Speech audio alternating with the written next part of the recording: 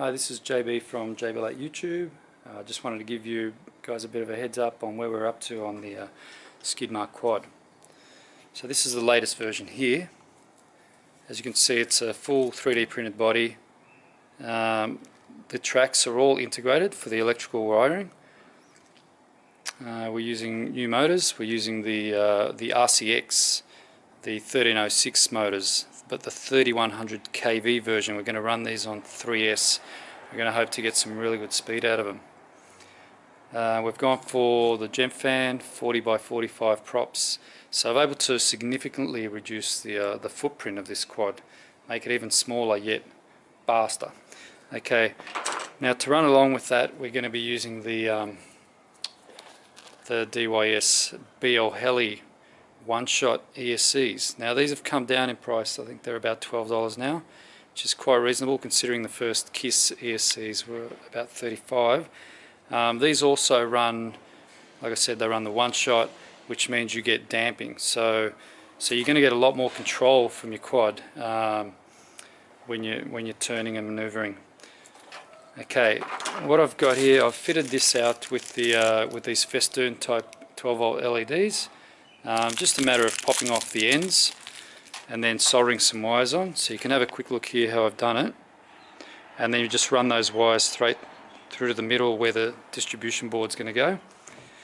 Now with the, uh, the rear LEDs, so we've got some flashing um, 12 volt LEDs, they've got the built-in resistor. Um, so what I've done is I've put two of those in, but I've, I've cut off one of the resistors. So I'll just show you quickly how I've done that.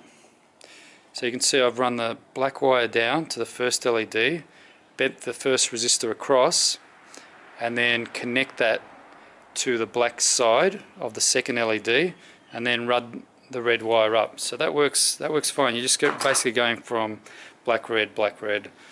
Um, still running the 12 volts through it with the one resistor. So it kind of fits in really nice.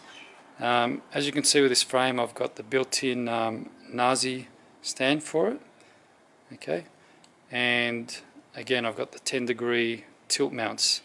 So I've had to modify those a little bit uh, just to make these these little motors fit. But um, yeah look stay tuned. Oh sorry the other improvement that Derek recommended was the um, was the cable ties. So you wanted to be able to quickly replace the cable ties if he was in a big smash. Uh, he found that the body was getting damaged so this will prevent that from happening. Probably a bit more agricultural, but I think in the long run uh, we'll be pleased we've done it. Okay, the FPV gear. So we're going to be running this uh, this miniature camera. Now this is the RC timer one. This is the 127 degree camera. And it comes with a kit with the uh, transmitter. And it's a really good price. I think it's about 40 Australian delivered, which is really good. Um, anyway, look, uh, you know, I'm really interested to see how this the BLHeli goes with the one shot and how the uh, smaller high revving motors go on the 3S. I think this thing's going to be like a little rocket.